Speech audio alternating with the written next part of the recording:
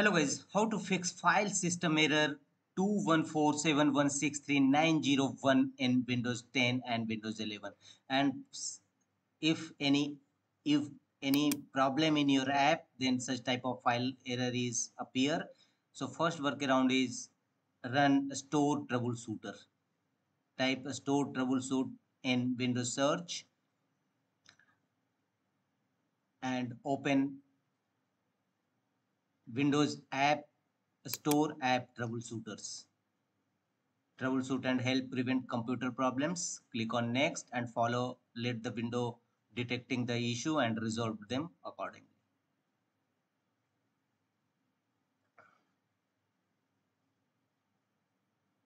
The second workaround to fix this issue is go to run command box and type ms configuration clean boot your Windows 10 11 system to fix this issue. Here go to services, hide all Microsoft services and disable all. Thereafter go to a startup tab and choose open task manager and all the startup tab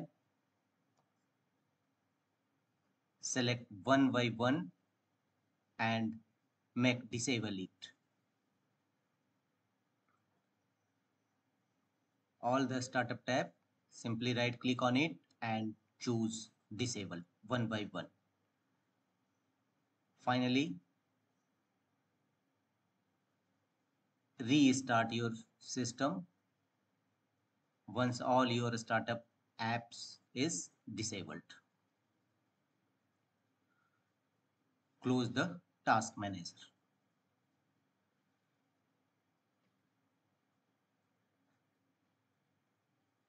The next workaround to fix this issue is go to run command box and type rstrui to restore your Windows. But before restore your Windows, apply a scan your system.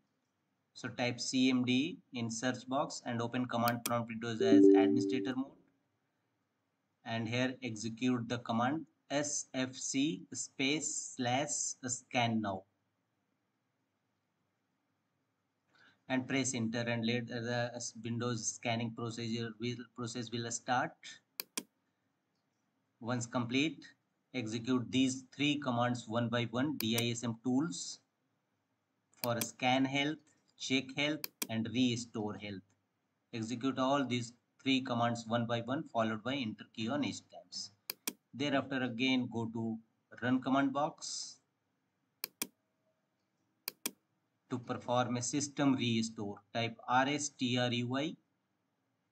It will open system restore windows. Click on next and choose a restart point and restore your computer to the state it was in before and selected event and click on finish.